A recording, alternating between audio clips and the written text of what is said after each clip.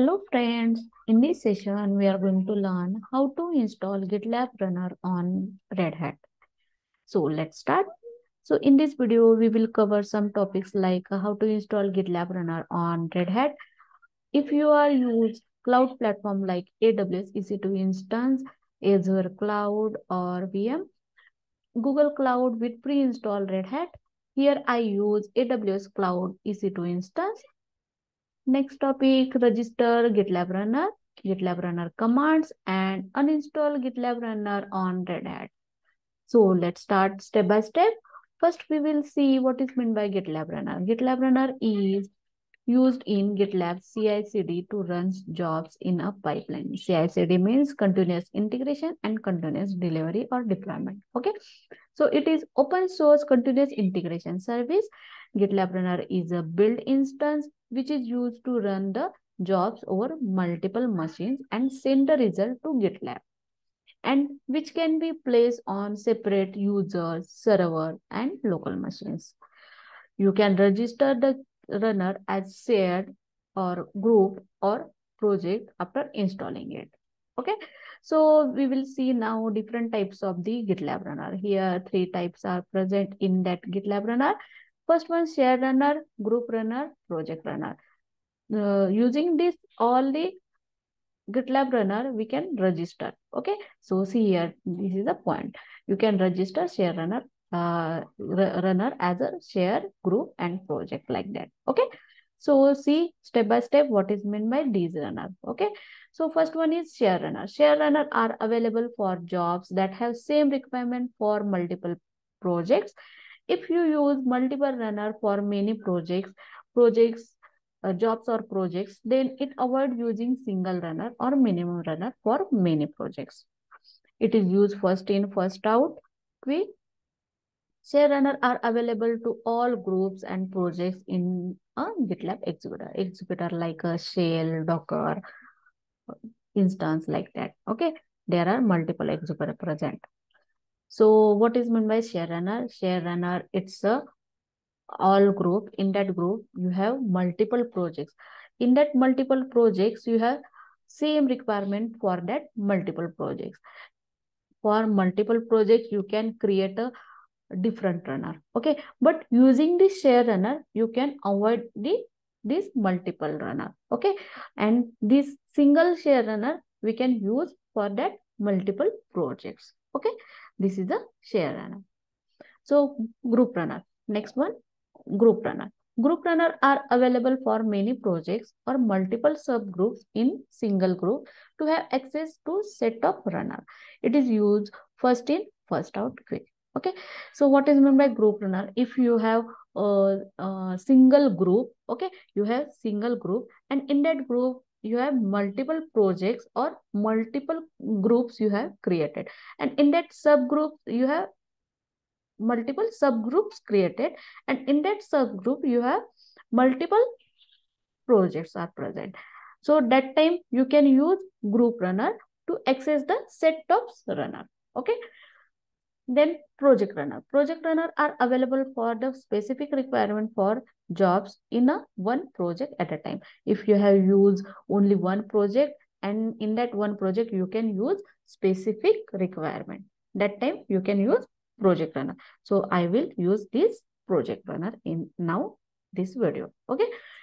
So see next point is how to install GitLab runner on Red Hat. So see so firstly, CD my AWS cloud and in that cloud, I register or I create an instance with Red Hat and connect to the HSS, okay, with the command prompt, okay. So now first step is you have to add official GitLab repository using this curl command, okay. So let me copy this and paste in here. So here our loop, client loop is disconnected. So for that, I will again reconnect it. Okay, using this. Copy this link and paste here. Okay, now it's connect. And first step is this using curl command. We will add official repository GitLab repository. Okay, so paste here and enter. And it's take couple of minutes for the installing GitLab repository. Okay, so let's wait. Okay, all the packages now you can install now. So next step is you have to install latest version of the GitLab runner using this sudo yum install GitLab runner. Okay, so or another way you can install specific version for that GitLab runner. So use here sudo yum install GitLab runner and use here specific version for that. Okay, so I will use this latest version. So let me copy this command and open command prompt and paste here. Okay, so see here installing GitLab runner and installing all the dependencies. Okay, so you can say yes. It's also take couple of minutes for the installing. Okay, so let's wait for that.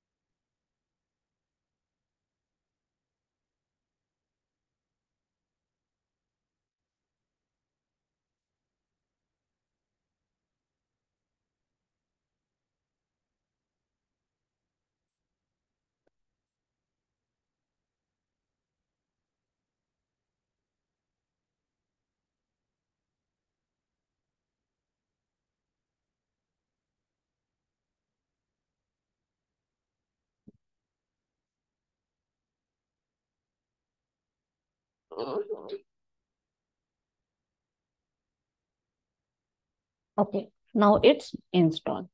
Okay, so what is next step? Next step is you can check the version of that GitLab runner. Okay. So using this sudo GitLab runner version. So use here sudo GitLab runner hyphen version. So see GitLab runner version is 16.1.0. It's a latest version. Okay. So now what is the next step? You have to grant sudo permission to GitLab runner user.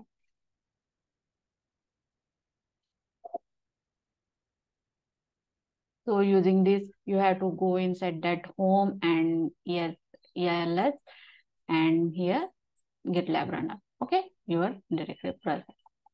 After that, register GitLab runner. So how we can register it? Using this sudo GitLab runner register. Okay, so let me copy this command and paste here. Enter. And here you ask the GitLab instance URL. So let me copy this.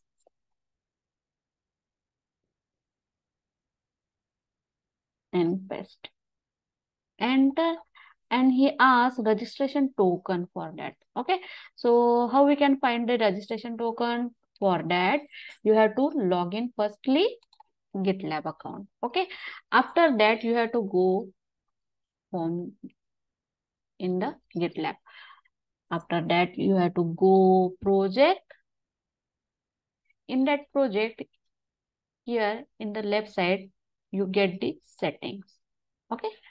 In that settings, here CI/CD. Go inside that. See here, this is the runner. Okay. So you have to expand firstly. After that, here three different runner project runner, share runner, and here group runner. Okay. So I will use this project runner. Okay. Click on this three dots and copy this registration token. Okay. Let me copy this and paste here. And then I will copy and paste. Enter and ask the enter the description for that runner. So you can uh, enter, uh, enter description as your requirement. So I will use here project runner used in red hat. Okay? So enter and he asked the tags for the runner. So see the what is meant by tags here available shares uh, share runner in that share window window window 1809 like that these are the tags. Okay so i will use here uh devops hint okay. Again uh, you have to use different tag name using the comma separated. Okay so what how what i will use here? Red hat red hat enter. And here optional maintenance note for the runner. I will skip. Enter. And he asked the enter the executor like custom docker parallel docker autoscaler like that kubernetes. So i use the instance. Okay? Instance. Enter. And here runner registered successfully. Okay? So after that next step is you have to refresh this gitlab page. Okay? Gitlab account page. So see what happened now. Again, you have to go inside that project, settings and CI/CD and runner. Okay, go inside that and see assign project runner is created. And we enter the description as a project runner used in Red Hat. And here DevOps and Red Hat it's a tag name. Okay. See all these steps we are, we are we were performed. Okay? So like uh, go inside that runner and copy this registration token description tags executors like that. Okay? All right here. Now next step is run the gitlab runner services. Okay? So firstly we will see status of the gitlab runner using sudo gitlab runner status. So paste here this command and see status. This service is GitLab runner service is running. Now I will stop this service. And see the status now. GitLab runner service has stopped. Okay, again, now how we can start the service using start command sudo gitlab runner start and see status. GitLab runner service is running now. Now we have to restart the service. How we can restart? Using sudo gitlab runner restart. Restart means this com this service is stop and again immediately start. Okay. So run and see status. Okay. All right. Now, see. Now we have to uninstall the GitLab runner. Okay. So how we can uninstall it using this? Firstly, we have to use this command because we have to stop firstly this service. So stop it now. See this stop or not this Okay, this service is now stopped. Now we have to uninstall the GitLab from the Red Hat system. Okay. So use sudo yum remove GitLab runner. Let me copy this command and paste. And he asks all the dependencies and GitLab runner removing. Okay. If you have to say yes, then type yes. If you don't have to remove it, then say no. Okay. So I will say yes and say all these erasing and verifying. Okay. So all these GitLab runner service and dependencies removing. If you are to delete the files which is present uh, locally present on Red Hat system, then you can use these commands. Okay.